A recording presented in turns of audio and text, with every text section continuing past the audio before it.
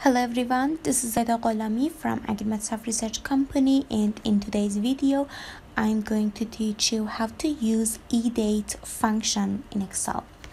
So as you can see here, I can call this function by typing eDate and you can see in the description that it says returns the serial number of the date that is indicated number of months before or after the start date so before using it I need to have a date here written.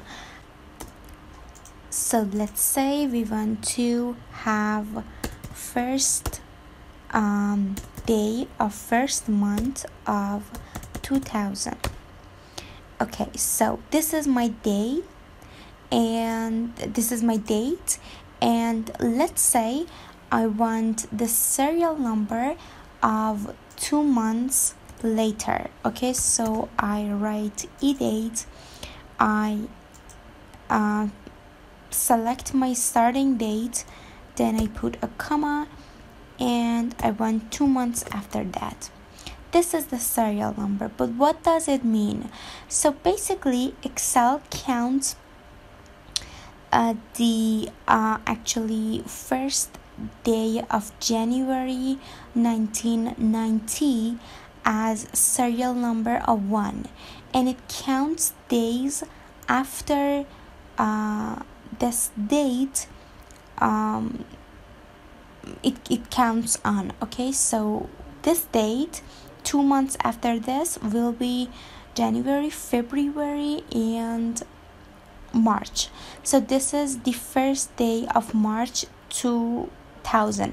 So for showing the date instead of this serial number, all I have to do is right click on that, then go to format cells. And in here I go for dates and this one is okay so I click OK and you can see this is the first day of March 2000 now this function actually works with negative numbers also so you can use it to uh, select the starting date put a comma and then write let's say minus 1 to see what happens. So as we cannot understand the serial number, I will now format all the dates in here. So you can see this will be minus 1 when it, when it's 1 minus 1 it means that it goes one month back. So this is the first day of month 12 of 1999 so i guess that's all i had for this video and i hope you learned something new. Please don't forget to give this video a thumbs up and subscribe to the channel. I will see you in the next video and bye